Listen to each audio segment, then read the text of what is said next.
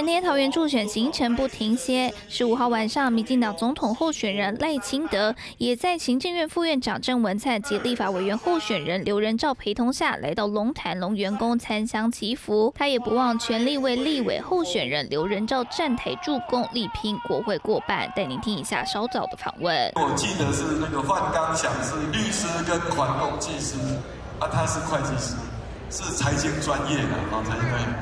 呃，他以前也是海军呐，啊，海军，所以进入到立法院啊，除了监督政府施政以外，那也要协助政府去推动浅建国造呢。大家说好不好？